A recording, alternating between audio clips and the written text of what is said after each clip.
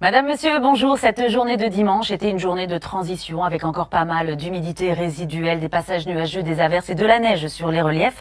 Et cette nuit, eh bien, c'est l'arrivée d'une nouvelle perturbation qui a fait son apparition par les côtes de la Manche, perturbation assez dynamique qui traverse en ce moment le territoire et cette pluie se transforme en neige en moyenne montagne sur les massifs de l'Est. Alors la situation, c'est effectivement cette perturbation qui nous concerne aujourd'hui, entraînant avec elle un air beaucoup plus frais sur un bon nombre de régions de l'Est. Et à l'arrière, eh bien, c'est ce front chaud qui va s'installer et nous concerner à partir de demain. En attendant, on va retrouver cet après-midi cette perturbation qui va s'étirer euh, des Pyrénées en remontant vers euh, les reliefs de l'Est avec cette neige hein, qui va tomber en abondance tout au long de la journée sur l'ensemble des massifs. Le retour d'éclaircies sur les régions situées au nord de la Loire et on va conserver un temps lumineux, sec, mais venteux autour de la Méditerranée.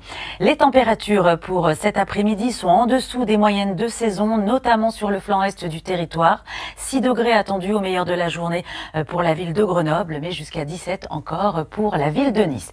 Demain, eh bien, ce front chaud va se traduire surtout sous forme de grisaille de la Bretagne en remontant euh, vers les Hauts-de-France. À l'avant, encore pas mal de passages nuageux et ce front chaud va se décaler euh, dans l'après-midi entre le massif central en remontant vers les Ardennes avec des pluies faibles.